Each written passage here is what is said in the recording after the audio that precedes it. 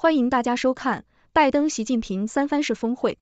我们现在给大家播报的主要内容包括：习近平要来了，旧金山开始聚集各路人马，欢迎加抗议。中美元首旧金山会晤释放三个重磅信号。何立峰耶伦晤十小时达共识。请大家收看解码中国，习近平和拜登如何找到共同点。德国之声。德国之声中文网：中国国家主席习近平和美国总统拜登将于十一月十一日至十七日在美国旧金山市举行的亚太经合组织 APEC 峰会期间举行会晤。想必届时为他们摄影的记者将是亚历山大·亚历山大。这张照片将展示在经济和安全政策方面互为竞争对手的两个国家之间眼下的关系。这关系可是非同小可，如果两国不合作，就无法应对气候变化等全球性挑战。媒体和公众将仔细观察这两个人的面部表情、姿势和整个场景，以解读两国之间的关系。不过，至少他们的身体将近距离接触。拜登身高一点八三米，习近平身高据称在一点八零米左右，但这并不能完全确定，因为中国对待这些信息就像国家机密一样。习近平和拜登上一次会晤是二零二二年十一月在印尼巴厘岛举行的 G 二零峰会上，在那以后，双方一直保持着活跃的政治磋商。但这两个人并没有直接面对面的交换过意见。莫卡托中国研究所 Marix 首席分析师莱加达 Helena Ligarda 说，习近平和拜登将讨论当前的问题，这一点相对明确。但是他们能否达成共识还不确定。这次峰会可能不会有太多成果。井号井号井号政治制度上的相互对立。中美关系是两种截然不同的政治体制的对立。中国是一党专制国家，已成为世界第二大经济体。中国政府表示，要在二零五零年成为世界上最强大的国家。中国希望到那时能够取代美国成为全球超级大国。作为一个共产主义国家，中国在冷战期间与西方阵营进行了数十年的斗争，但未能取得成功。美国作为世界上最大的经济体和民主国家，则希望捍卫自己的地位。两国在多个层面展开激烈竞争。经济是一个方面，尤其是半导体、数字化和人工智能等高科技领域。但地缘政治利益也不遑多让。中国希望与非西方国家结盟，重塑目前由美国主导的世界秩序。归根结底，问题在于谁将主导二十一世纪的意识形态模式，是共产主义专制还是资本主义民主？一九七二年，在尼克松总统的领导下，美国与中国建立外交关系。在过去几十年中，两国关系经历了快速发展，尤其是自一九七八年邓小平提出改革开放政策以来。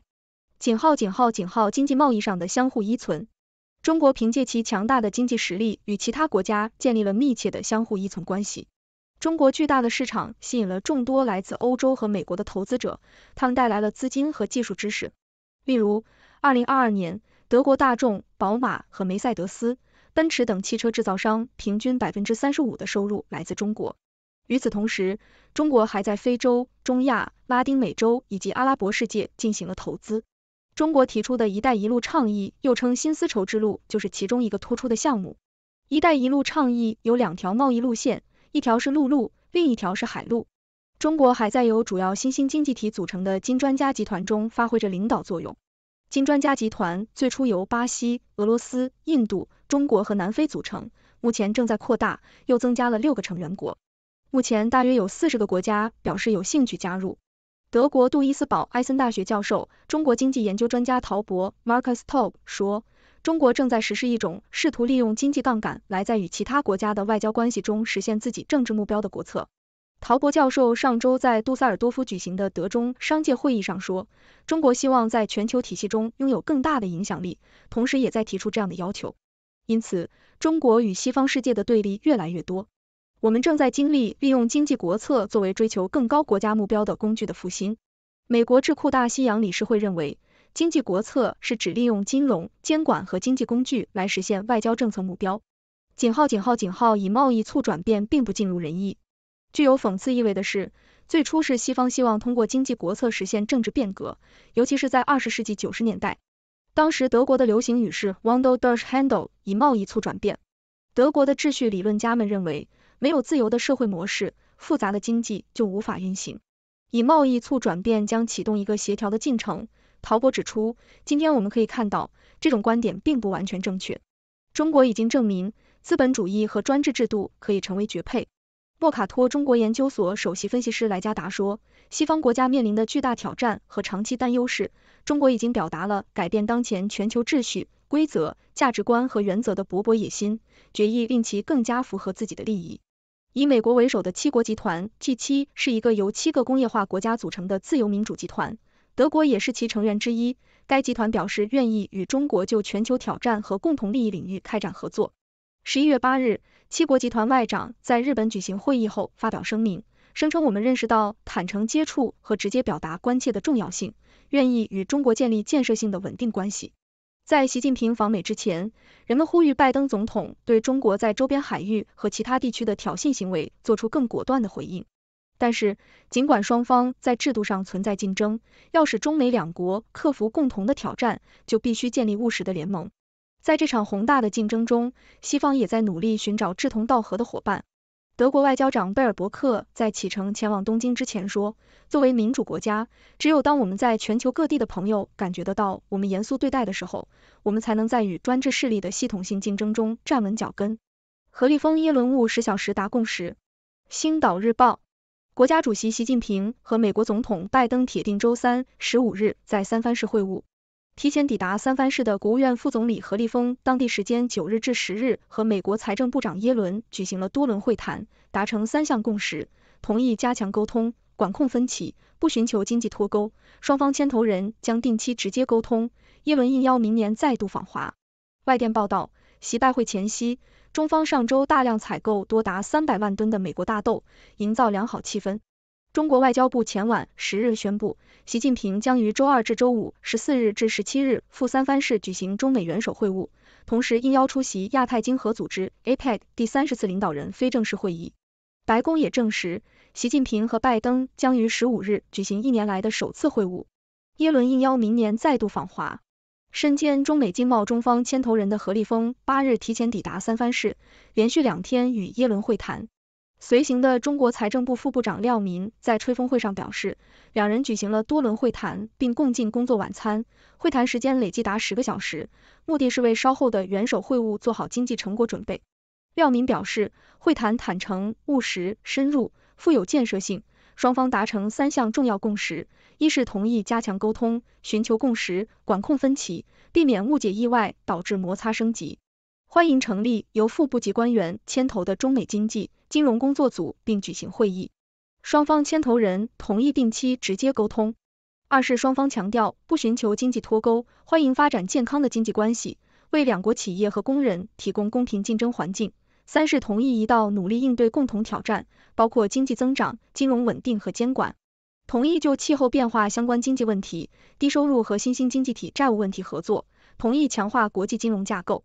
廖明表示。中方就美国对华双向投资限制、制裁打压中国企业、对华出口管制、对华加征关税等明确表达关切，要求美方切实以行动予以回应。中方还应询介绍对乌克兰危机、巴以冲突的立场。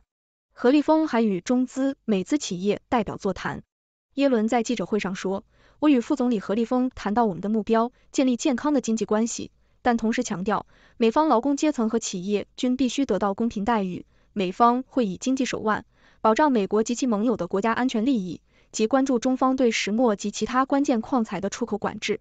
美国财政部声明称，耶伦还向何立峰强调，中国企业绝不能为俄罗斯军工部门提供支持。继今年七月之后，耶伦表示期待明年再次访华。彭博社引述全球大型农作物贸易商的消息，指中国在上周二及周三紧急采购三百万吨美国大豆。似乎是为元首会晤营造良好气氛。另外，正在日本访问的美国参谋长联席会议主席布朗表示，已致函中方，希望重启两军沟通管道，相信习拜会期间会释出一些信号。美大选年将至，稳定关系力两国。星岛日报，习近平和拜登铁定在三藩市再度会面，也是习近平六年多来再次访美。过去一年，中美关系继续受台湾问题、经贸纠纷、南海争议等而一波三折。但总算管控分歧，未至于撕破脸。多名中外专家都预期习拜会不会有惊喜，中方在核心问题上不可能让步，美国也无意改变对中国的看法。这次峰会若能把一年来偏离正轨的中美关系重新纠正，包括恢复军事沟通等，已算达到预期效果。北京环球时报前总编胡锡进在微博表示，在过去几年的摩擦中，中美对彼此的实力和能力都有了更加客观的了解。美国压不垮中国，双方也承受不起彻底的摊牌，这为美方激进势力的疯狂实际设置了某种底线。华盛顿应该有所感悟，在一定程度上稳定中美关系，对美方利大于弊，在政治上对美国的执政党来说尤其如此。胡锡进，美国压不垮中国。中央社引述华盛顿智库德国马歇尔基金会学者葛莱伊认为，中方希望并需要稳定的中美关系，并试图要求美方让步，特别是在台湾和科技议题。美国则希望透过对话管理分歧，并与双方利益重叠的领域合作。尤其拜登即将进入大选年，对华关系趋稳符合美国利益。他预计习拜会最大交集不外乎承诺保持对话管道畅通，并恢复气候和禁毒等领域合作，这是可期待的最好结果。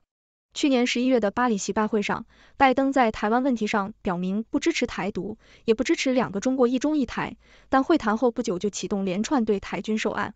韩国全球战略合作研究院院长黄载浩撰文指出，美国需要明确其对华政策，不应反反复复，降低因为自身的不确定性给国际社会带来的风险。台湾陆委会副主委詹志宏昨日说，会密切观察习拜会，有信心台美关系不受影响。美官员。拜登将促习近平恢复军事沟通。联合早报，华盛顿旧金山综合店，随着中美关系回温，美国财长耶伦重申美国愿与中方加强沟通。美国总统拜登则预料会在下个星期会见中国国家主席习近平时，敦促恢复中美军队之间的沟通。据金融时报报道，美国官员星期五十一月十日透露，中美两国领导人将商讨广泛课题，包括重启两国军事通讯渠道的可能性。中国在去年时任美国众议院议长佩洛西访问台湾后，便关闭了这一沟通渠道。一名美国官员说，总统拜登决心采取必要措施，恢复中美军事领域的核心沟通。拜登也将向习近平表达他对中国在台湾周边危险和挑衅军事活动的担忧，预料也会和习近平讨论俄乌战争。美官员，激烈竞争需激烈外交来控制局势，以防演变成冲突。美国官员强调，习拜会并不意味美国改变对华政策，而是明白中美需要有效的沟通渠道。官员说，激烈的竞争需要激烈的外交来控制紧张局势，以防竞争演变成冲突。外交是我们消除误解、发出信号、沟通、避免意外以及解释美国竞争举措的方式。拜登和习近平将在出席亚太经济合作组织 APEC 首脑峰会之前，于下星期三十五日在旧金山湾区会面。这将是他们去年十一月在巴厘岛的二十国集团 G20 首脑峰会见面后再次会晤。耶伦与何立峰会谈，同意美中加强经济沟通。另一方面，美国财长耶伦星期五同中国国务院副总理何立峰在旧金山举行两天会谈后，在记者会上说，他们同意就经济课题加强沟通。耶伦指出，他与何立峰进行坦率、直接和富有成效的讨论。相信这次会谈让中美关系处于更坚实的基础，再向前迈出一步，也有助为习拜会奠定基础。耶伦再次强调，美国无意在经济上与中国脱钩，但希望为美国企业和劳工提供公平的竞争环境。耶伦说，脱钩对美国和中国都是有害的，也会使全球不稳定。但健康的经济关系需要美国工人和企业得到公平对待。耶伦警告中国勿为俄提供物资。中国中美合作前提是平等相互尊重。耶伦也提醒何立峰，中国应该取缔提供物资给俄罗斯的中国企业。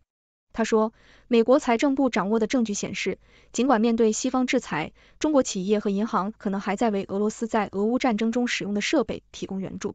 他警告，如果这些公司这么做，将面临严重后果。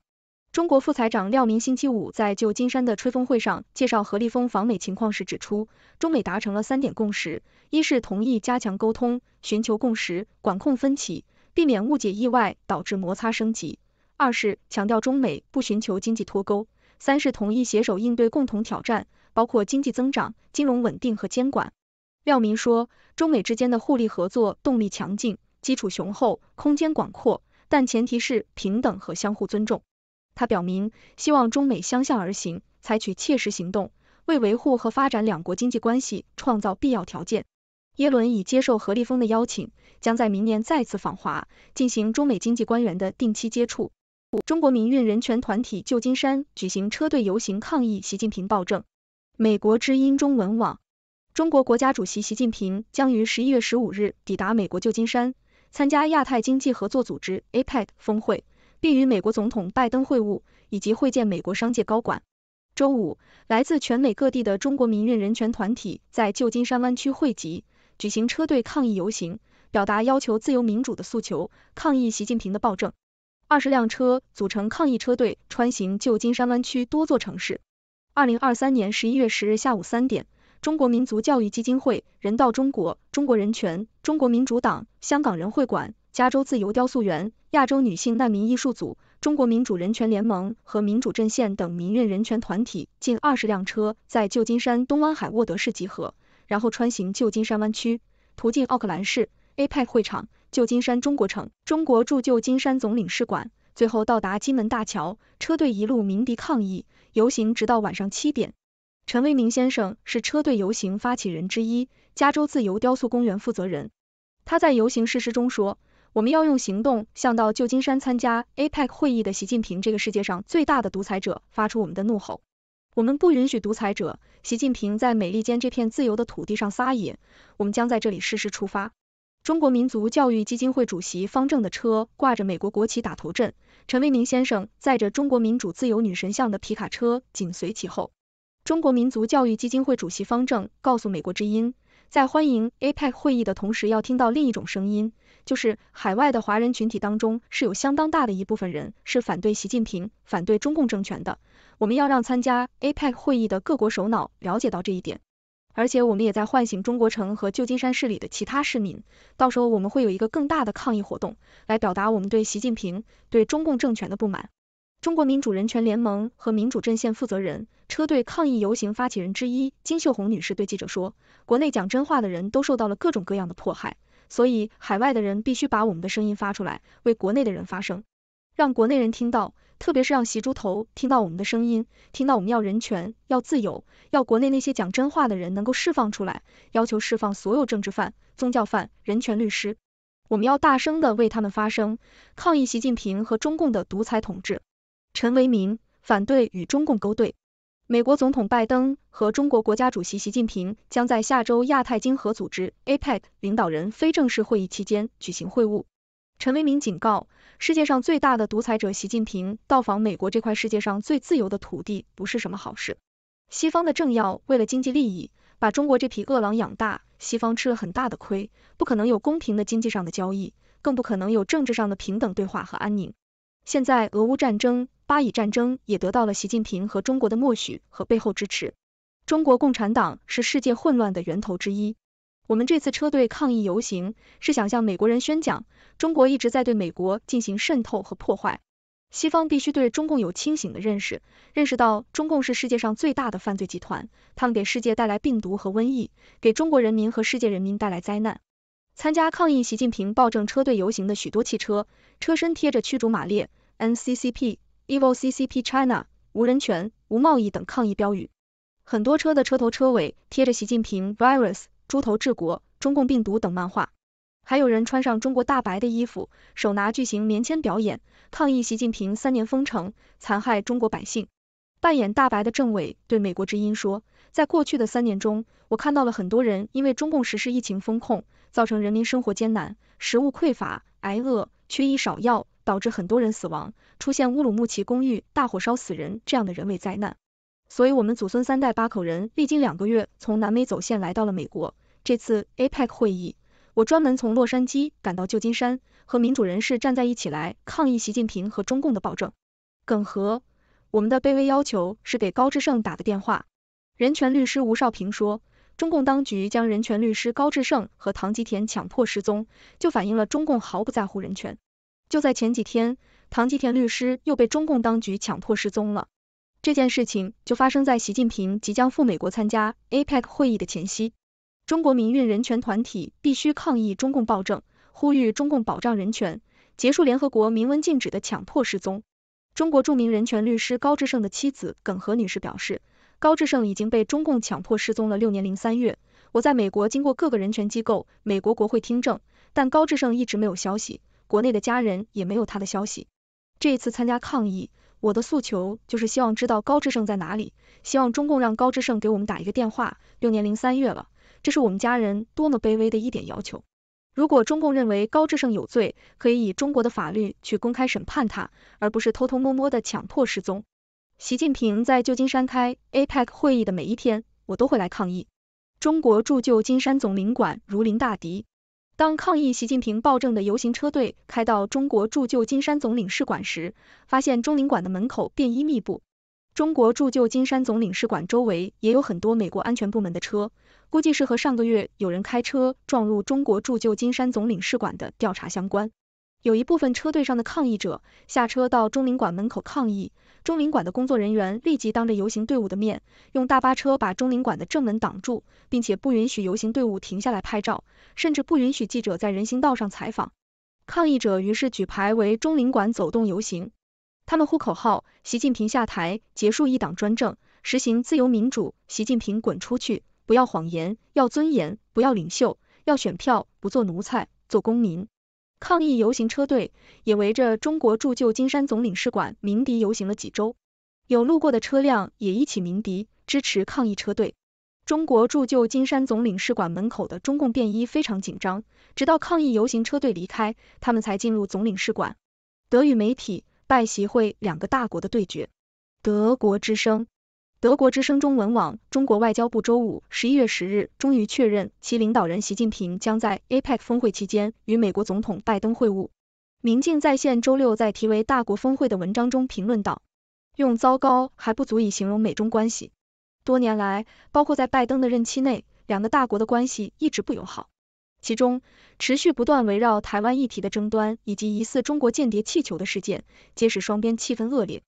在旧金山的亚太经合组织 APEC 亚太峰会期间会晤，可以被视为拜登和习近平为稍微缓和局势所做的努力。尤其是习近平其实无法承受与长期与美国陷入纷争导致的后果，他需要与美国和西方进行经济贸易，以维持中国陷入困境的经济。拜登则奉行一句古老的格言：宁动口不动手。他希望稳定两国关系，从而防止与中国的竞争演变成真正的战争，例如在台湾问题上。毕竟美国总统已经有够多的事情需要操心。德国经济周刊发表文章《大国的对决》，探讨了美中两国对当前冲突的不同看法，并提到他们在全球问题上的对立立场。美国认为中国在解决当前全球危机方面是一个阻碍，而中国则将自己定位为对全球问题做出建设性贡献的国家。习近平最近在讲话中提到美国时，总是提到世界上最重要的双边关系。这其中既有认可，也有自我赞扬，但最重要的是，这是事实。美国和中国之间的关系构成了世界地缘政治的基础。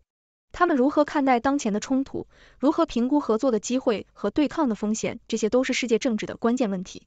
因此，在旧金山的会晤不仅仅是一次握手，这就是为什么了解彼此的观点如此重要。作者指出。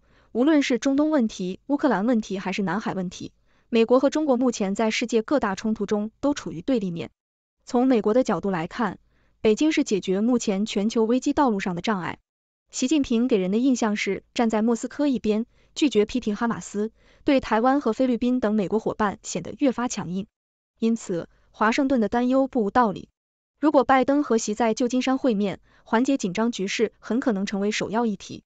文章接着从中国的角度出发写道，虽然美国将北京视为战略威胁，中国领导层的看法自然不同。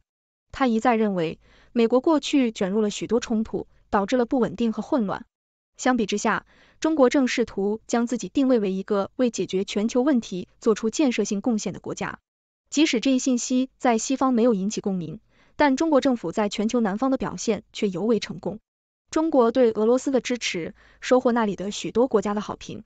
新苏黎世报在美国希望更好的处理与中国的困难关系一文中引述白宫人员指出，对拜习会不能抱过多的期望。作者 Renzo Ruff 写道，在与中国打交道时，拜登奉行的是与其前任特朗普类似的对抗政策，尽管他在言辞上相比特朗普较为缓和。这位民主党人经常强调，美国正处于与中国的直接竞争中，而且不仅限于经济政策问题上。然而，华盛顿并不寻求冲突、对抗或新冷战。拜登顾问称，我们的中国政策并没有改变。文章写道，拜登将在与习近平的会晤上传递这一信息，并与习近平共同努力解决近几个月来令这两个大国感到不满的一系列问题，包括台湾议题、美国将向中国强调不支持台湾独立，并坚持维持现状。据华盛顿称，会谈结束后不会发布联合公报。拜席的谈判代表在准备会晤时，似乎并未就可能的工作成果达成一致。拜登政府的雇员在电话会议中已经警告，不要对会谈抱有过高的期望。此次会谈不能与之前的峰会对话相提并论。那么该如何判断此次拜习会是否成功呢？文章给出的答案是，如果在与拜登的会谈后，习近平同意重新启动中美军事关系，并让军方能够直接交流。二零二二年八月，在美国众议院议长佩洛西访台后。中国切断了两国军方的沟通渠道。白宫认为，如果军方代表未来能够直接交流，将是绝对关键。摘编自其他媒体的内容，不代表德国之声的立场或观点。Copyright 二零二三年德国之声版权声明：本文所有内容受到著作权法保护，如无德国之声特别授权，不得擅自使用。任何不当行为都将导致追偿，并受到刑事追究。中国媒体。中美元首旧金山会晤释放三个重磅信号。联合早报：中国国家主席习近平确定赴美国旧金山举行中美元首会晤。有中国媒体称，这释出至少三个重磅信号，包括美方高度重视这次峰会，中美将讨论众多重大问题，以及成果值得期待等。具有中国官方背景的微信公号牛弹琴星期六十一月十一日发文称，毫无疑问，这是十一月世界最重大外交事件，没有之一。因为两个世界大国的互动，关系到世界的和平与发展、前途和命运。文章分析，第一个信号是美方高度重视这次峰会。根据中国外交部发布消息时的表述，是先说了元首会晤，然后才是 APEC 峰会。文章引述知情人士说法称，美方发出两个邀请，邀请中国领导人出席 APEC 峰会，此外还专门单独发出邀请，邀请中国领导人参加两国元首的正式会晤。按知情人士分析。这次两国元首会晤不是在 APEC 期间的一次普通会面，而是单独的专门的一次会晤。外交无小事，这样的安排更充分说明美国对这次会晤的高度重视。第二个信号是中美将讨论众多重大问题。文章引述中国外交部发言人提到，两国元首将就事关中美关系的战略性、全局性、方向性问题，以及事关世界和平与发展的重大问题深入沟通。文章研判。这包括但不限于中美经贸摩擦问题、美国科技打压问题、台湾问题等等。其中，台湾问题是中国核心利益中的核心，是中美关系政治基础中的基础，两位元首肯定会重点谈。另外，像半岛问题、乌克兰问题，还有巴以问题，肯定也会谈。所有这些问题关系到中美关系的走向，也关系到世界的和平与发展。文章特别提到，中美官员在峰会前夕已频繁互访磋商。按照外交惯例，应该在一些具体问题上，中美已经达成了某种默契，取得了某些进展。当然，最重大、最关键的问题，肯定还是在中美元首会晤中拍板。第三个信号，则是会谈成果值得期待。文章分析，肯定有各种挑战，甚至不排除世界又出黑天鹅事件。但从目前的种种迹象看，元首会晤成果值得期待。比如，美国对华态度最近也在微调，一些表态积极了不少。这展现了美国希望稳定和发展美中关系的积极意愿。最后，文章归纳对此次元首会晤的几个观察点：首先是要敢于斗争，更要善于斗争，善于斗争，善于博弈，这才是外交高手。其次是听其言，更要观其行。对于美国的说一套做一套，中国肯定早有领教，更要有所准备。中国讲究言必信，行必果，说了就要做到，做不到就不要说，比口号更要比行动。谢谢大家收看以上节目，这是我们的编辑团队为大家搜集整理的认为有价值的信息观点，但是并不一定代表我们立场，不作为任何行为的建议。欢迎大家为我们的节目点赞，订阅我们的频道，谢谢。